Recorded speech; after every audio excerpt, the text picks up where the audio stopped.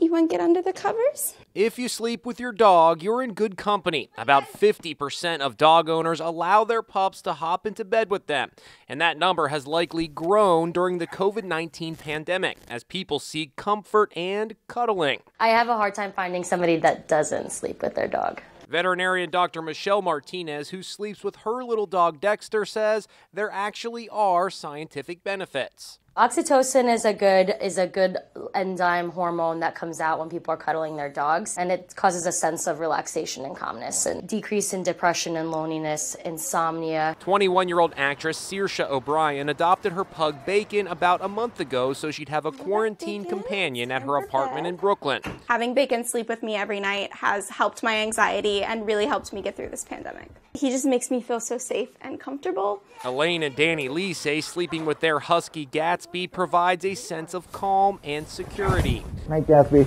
He's like our protector at night when we're sleeping, watches over us basically. But is all this safe? There's no evidence that humans can contract coronavirus from dogs. But Dr. Martinez says you want to make sure your dog is healthy. The last thing you want to do is sleep with a dog that has fleas or ticks.